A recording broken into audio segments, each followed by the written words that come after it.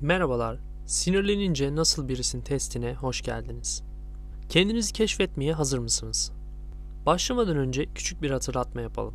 Her zaman aklınıza ilk geleni söyleyin, cevapları tahmin etmeye çalışmayın ve kendinize karşı dürüst olun.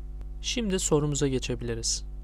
Fırtına çıktı ve aniden bastıran sağanakta yürüyorsunuz.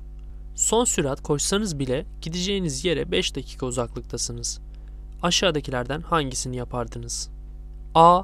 Büyük bir ağaç bulup yağmur dinene kadar altında beklerim. B. Yağmurun ne kadar süreceğini bilemiyorum. Bu yüzden gideceğim yere kadar koşarım. C. Şemsiyesini paylaşabileceğim biri ya da şemsiye alabileceğim bir dükkan olup olmadığına bakarım. D. Çantamda daima katlanabilir bir şemsiye taşırım, onu kullanırım.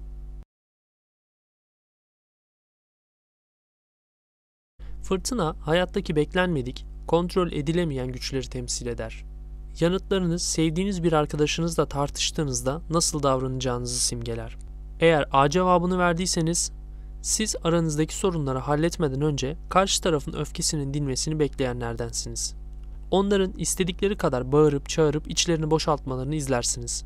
Sonra da kendi bakış açınızı soğukkanlılıkla sunarsınız. Bazıları bunu akıllıca bulurken bazıları sinsice bulabilir. B. İçinizdekilerin hepsini döktüğünüz sürece kavganın sonucunun ne olacağı umrunuzda değil. Sizce siz harikasınız ve tartışılacak bir şey yok. Sizin taktikleriniz arasında alma verme yok. Eğer karşınızdaki öfkelenirse siz daha çok öfkeleniyorsunuz. Eğer karşınızdaki bağırırsa siz haykırıyorsunuz. Bu sizi tartışmak için çok uygun bir insan yapmasa da en azından nerede durduğunuzu anlamak çok kolay. C. Karşıtlıklar ve tartışmalar size göre değil. Bu nedenle kavga çıktığında bile siz daima karşı tarafı sakinleştirmeye çalışıyorsunuz. Ama ne yazık ki bu davranış bazen işleri daha da kötüleştirir. Zaman zaman durup fırtınayı göğüslemelisiniz. D. Her suçlamaya verecek bir cevabınız, her yanlışınıza bir özrünüz olduğunu düşünüyorsunuz.